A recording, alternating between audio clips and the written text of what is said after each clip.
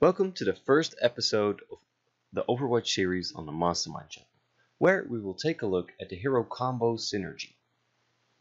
We are going to start this off with the not so popular African robot Centaur, better known as Orisa. We'll begin with going through her weapons and abilities and the corresponding numbers. After, we'll go more in depth on one of her specific abilities, which will be Halt. Let's begin with the base values. Her primary weapon is the Fusion Driver, which deals 11 damage per second at a rate of 720 rounds per minute. There's no range drop off, and it can headshot. Orisa's primary ability is the Barrier. It has 900 health and a cooldown of 8 seconds, which is actually quite good. If the barrier is not destroyed, it disappears after 20 seconds. This is what Orisa is all about. Her second ability is called Fortify. It reduces the incoming damage by 50% for 4 seconds, with a 10 second cooldown. It also stops any crowd control from affecting you.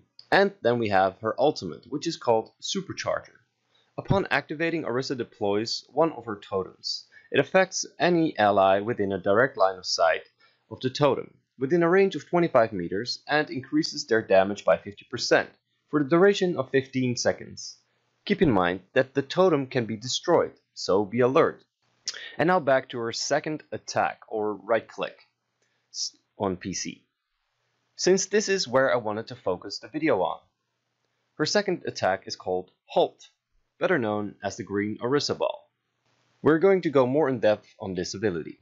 The Orisa orb shoots quite slow and is quite easy to see coming. It has a radius of 7.5 meters when activated again or when colliding with a wall. The Orisa orb can go through barriers and can only be stopped by the D.Va particle barrier. Alright, these were the values. Now let's talk more about Halt, or for sake of simplicity, her orb.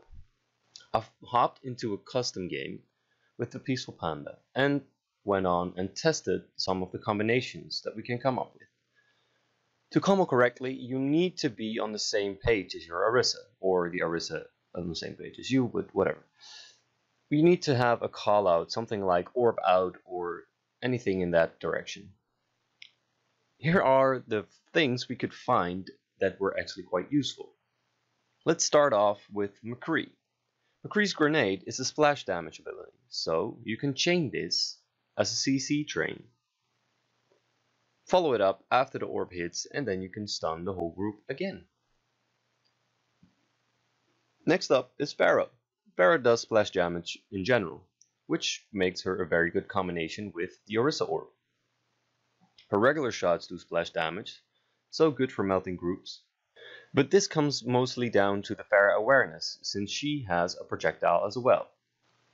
Again, Orisa needs to call it out so the Pharah can focus on it. It can also be combined with her ultimate, which is pretty strong if you can get multiple people in it, because it makes it really hard for them to get away.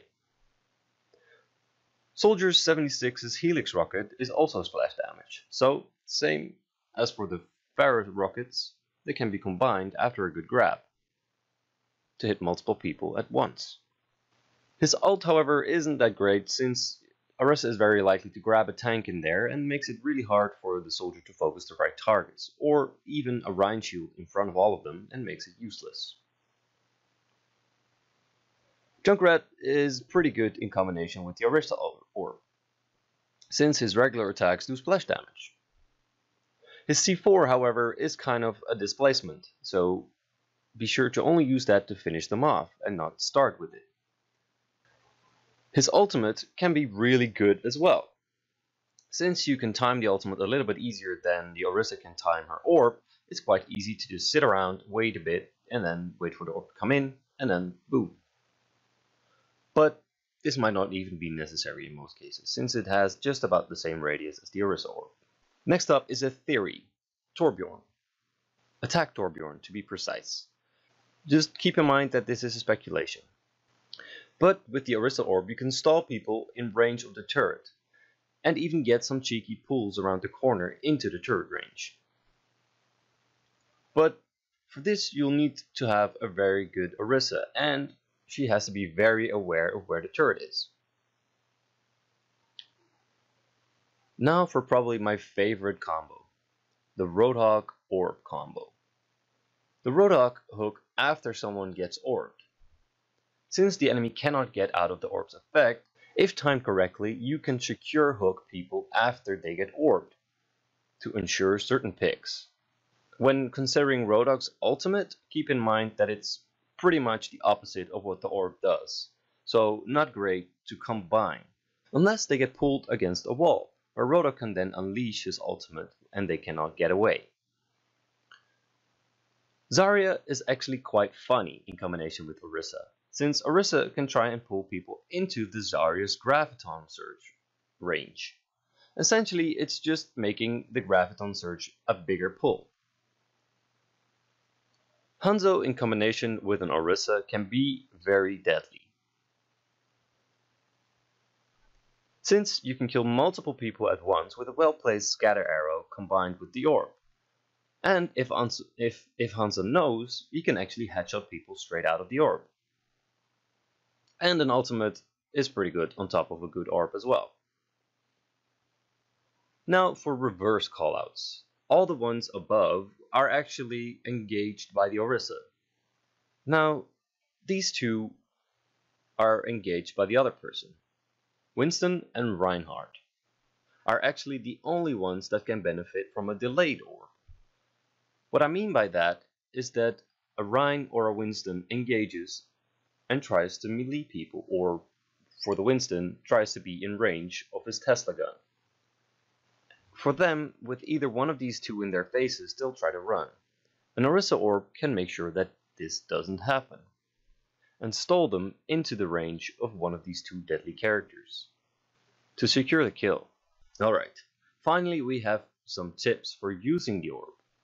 If you don't see any opportunities to synergize with a teammate, it works very well in combination with the environment. It mostly works on maps where there's ledges that are near the objective, thinking of the two Ilios maps or the bridge on Eichenwald. Like we said, the orb also doesn't go through D.Va's particle barrier, so be smart when playing against her. Finally, you can use it to save your teammates by pulling away enemies that are diving them. Think of orbing a charging Reinhardt. When you see this coming, it's actually pretty easy to pull off. I considered Orisa to be more of a support tank than anything else. Sort of how Zenyatta is not really considered a healer, but he does heal.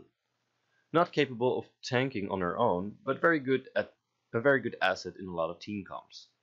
That's about it for this episode. We didn't want to do an actual Orisa guides where we talk about all the abilities because this has been done a million times before. Would it feel like going a little more in depth on a certain ability could be useful?